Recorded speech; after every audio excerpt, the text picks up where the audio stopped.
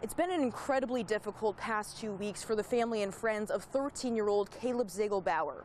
Today, over 15 of them came from across the state, even across the country, with signs to share a message to him from all the way up there. Love and prayers.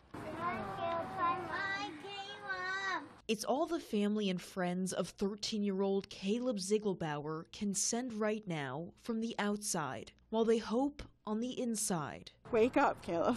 We, we just want you to wake up and open your eyes. On July 1st, Caleb went swimming with his family at the Port Charlotte Beach Park. His aunt, Katie Chiat, says five days later, Caleb got a fever just before the family was heading out on a 19 day road trip. On Saturday, he started becoming disoriented and hallucinating, and they had to bring him here. The Port Charlotte teen has been at Golisano Children's Hospital ever since, where doctors believe at some point a rare brain eating amoeba swam up his nose, a condition 97% of people never recover from.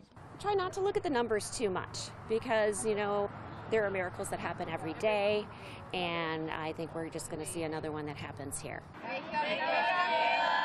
Today, his loved ones from Charlotte and Palm Beach counties, even some who flew in from Minnesota, stood outside the hospital facing his room's window with his baseball jersey number taped onto the glass. Just sad, but you know that they're going through this, but but happy that we could get together to support. Family and friends all wearing yellow, Caleb's favorite color, holding signs, knowing he may not be able to see the display, but hoping he can feel the support. Wake up, buddy. We love you. We're all here for you. In Lee County, Jennifer Vaglis, NBC2.